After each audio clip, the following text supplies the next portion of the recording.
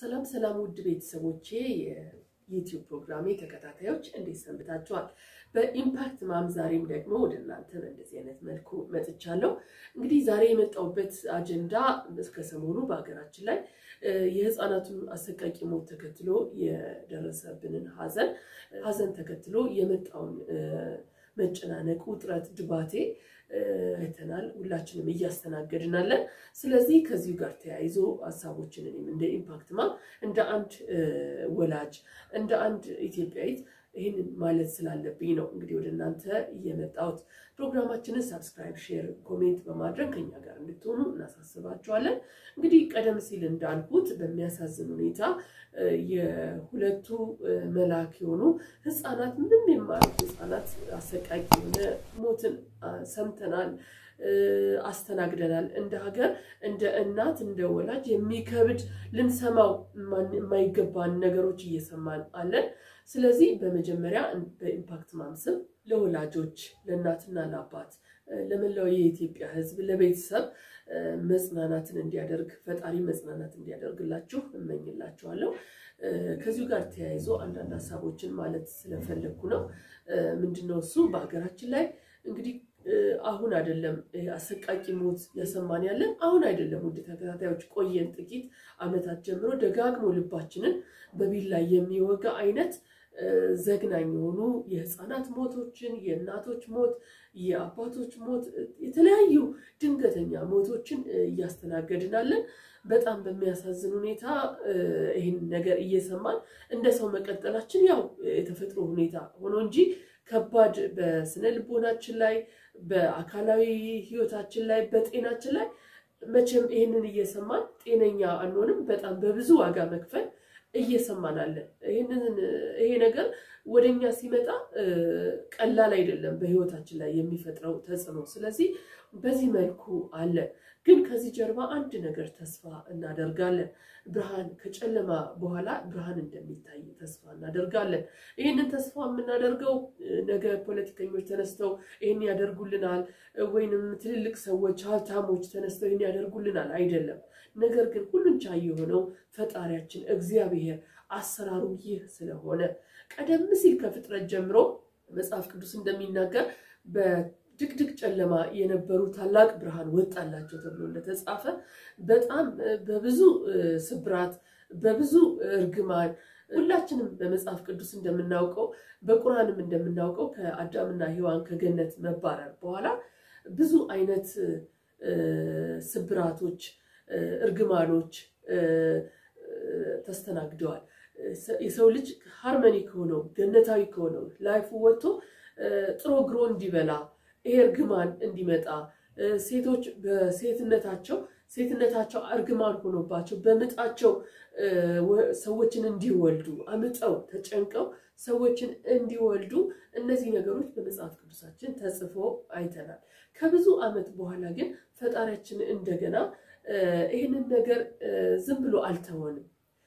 ሰዎች በበደላቸው ቢቀጥሉ እንኳ በአመፃቸው ቢቀጥሉ እንኳ ብቻውን ታማኝ የሆነው ብቻውን ቸር የሆነው ብቻውን ሩሩ የሆነው ጌታ እንደገና ተገልጦ እንደገና መጥቶ ሰዎችን ከጨለማ ወደ ብርሃን የሚያወጣበትን አንድያ ልጁን ልኮ እንደገና እኛን አድኖናል።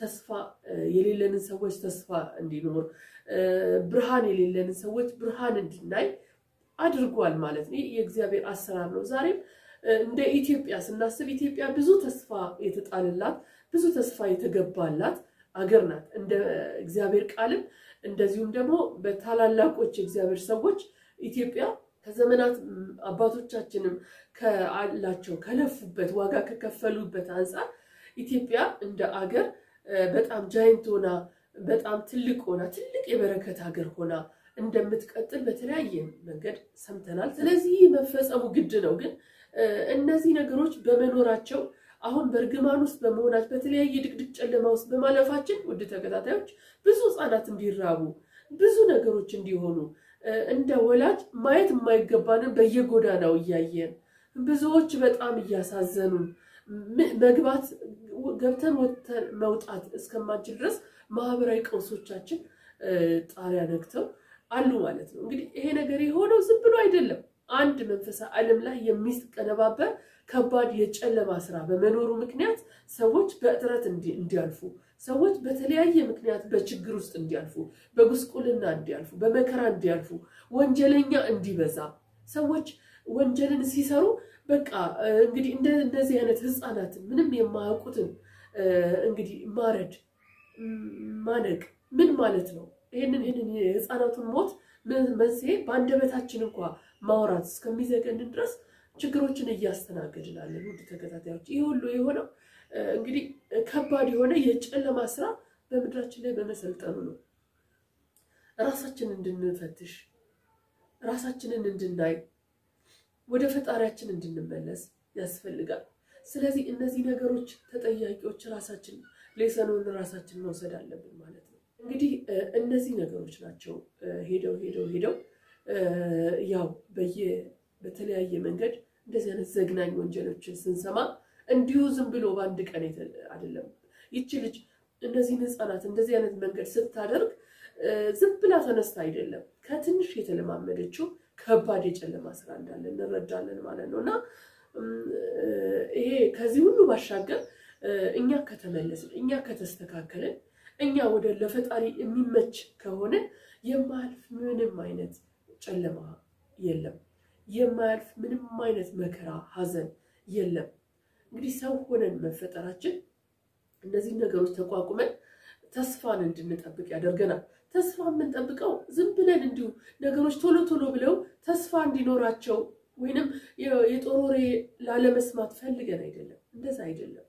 ነገር ግን እግዚአብሔር ካስለመደን እግዚአብሔር በሕይወታችን ከሰራው ጨለማዎቻችንን እንዴት እንዳበራ እንዴት አድርጎ ሕይወታችንን ከባዶ ነገር ወደ ሕይወት እንደሞላው ስናይ ትናንትናዎቻችንን ስንገመግማቸው የትዳራችንን ወጀብ ስናይ እኛ ወድቀን የማንቀርበት ምንም ምክንያት እንደሌለ ነገር ግን ፈጣሪያችን አምላካችን እንዳነሳን ስንረዳው እግዚአብሔር ምን አይነት አምላክ እንደሆነ ስንገነዘብ ሰዎችን የሚያጽናናበት መንገድ ምን አይነት ኃይለኛ እንደሆነ ኃያል እንደሆነ በማይገባን መልኩ ተጽናንተን ቆመን እኔ ይህንን ስናገር የተጽናናችሁ ይገባችኋል።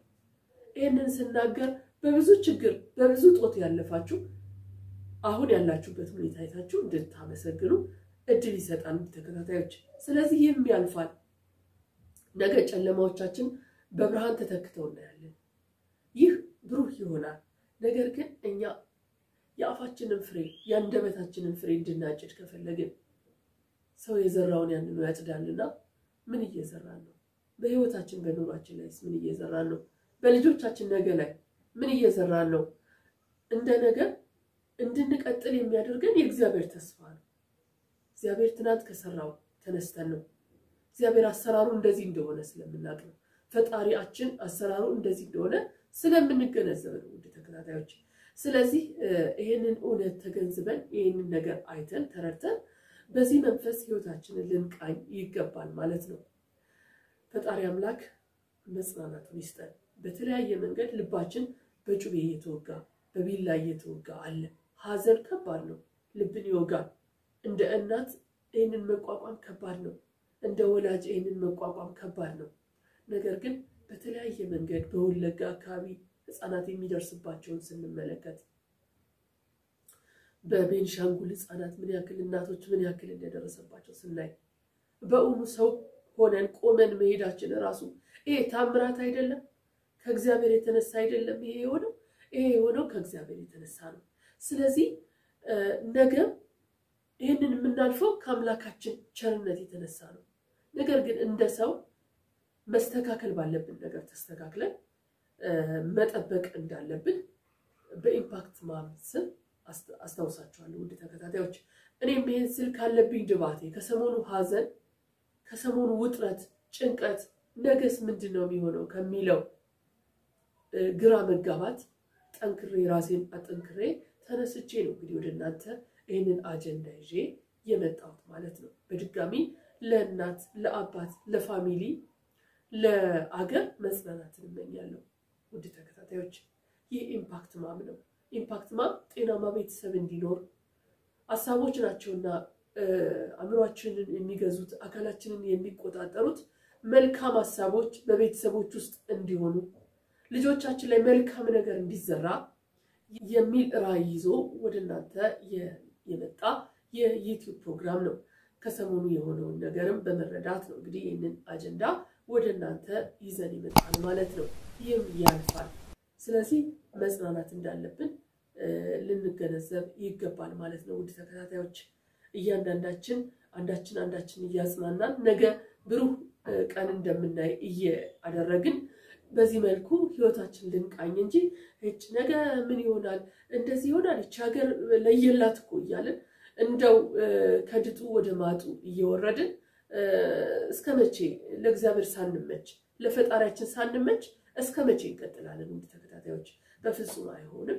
ስለዚህ ጠንክረን ራሳችንና ጠንክረን ዛሬም መቆም እንዳለብን ምን ማድረግ እንዳለብን አስተውለን መራመድ እንዳለብን የመከራ ውሃ በመጣ ጊዜ እንዳይወስደን ዛሬ ራሳችንን እያየን እንድንስተካከል ማድረግ እንዳለብን ለማስታወስ ነው እንግዲህ ወደ እናንተ ይህንን አጀንዳ ይዤ የመጣሁት።